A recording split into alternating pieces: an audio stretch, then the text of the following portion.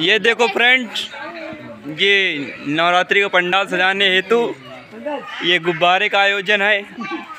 अभी आज जगराता होगा तो इसीलिए तो इसीलिए गुब्बारे गुब्बारे फुला रहे हैं। उत्साह देखिए बच्चों का, कितना ज़्यादा है।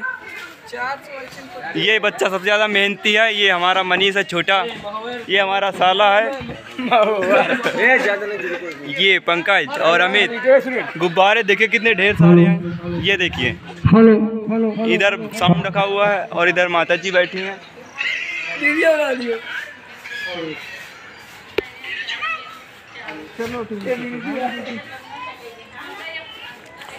पंडाल ये बताइए आप लोग पंडाल बढ़िया सजा है कि नहीं सजा है? अभी रात का सीन दिखाएँगे आपको कैसा रहेगा। और इधर देख लीजिए सारा कुछ। इधर भैंस वैंस बंधी हुई है।